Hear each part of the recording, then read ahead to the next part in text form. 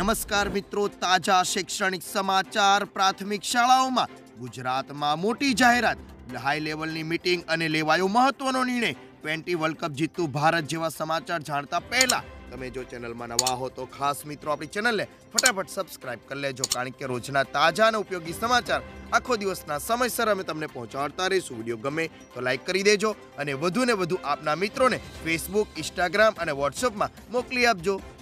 સર્વપ્રથમ પાલિતાણામાં જૈન મંદિરના હુમલા મામલે ગૃહ રાજ્યમંત્રી હર્ષ સંઘવીએ હાઈ લેવલની બેઠક બોલાવી હતી, જેમાં જવાબદારો સામે આકરી કાર્યવાહી કરવા સૂચના આપવામાં આવી છે. પાલિતાણા ખાતે આવેલ જૈન મંદિર હુમલાની ઘટના સામે આવતા ખળભળાટ મચી ગયો હતો, તો બીજી બાજુ ગૃહ વિભાગે પણ નોંધ લીધી છે. હર્ષ અધ્યક્ષતામાં ઉચ્ચ પોલીસ અધિકારીની હાજરીમાં મિટિંગ યોજાઈ હતી.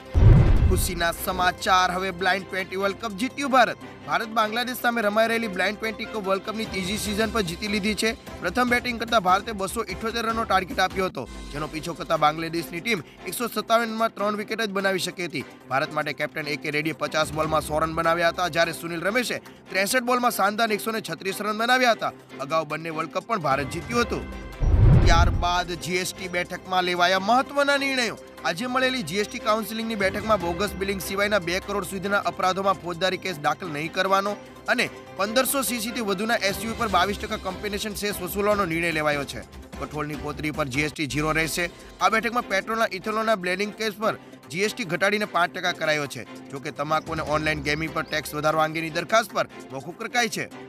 હવે ગુજરાતમાં થઈ મોટી જાહેરાત ગુજરાતના ડીજીપી આશીષ ભાટિયાએ મોટી જાહેરાત કરી છે અને કહ્યું છે કે અમદાવાદ શહેરમાં વર્ષ બે હજાર આઠમાં થયેલા સિરિયલ બોમ્બ બ્લાસ્ટના કેસમાં ચાર જેટલા આરોપી હજુ ફરાર છે જેથી જો કોઈ આ ચારેયની માહિતી આપશે તો એને બે લાખ રૂપિયાનું ઇનામ જાહેર કરવામાં આવશે ડીજીપી આશીષ ભાટિયાએ જણાવ્યું છે કે દેશની સુરક્ષા અને શાંતિ જળવાય તે માટે ચારે આરોપીની ધરપકડ કરવી ખૂબ જ જરૂરી છે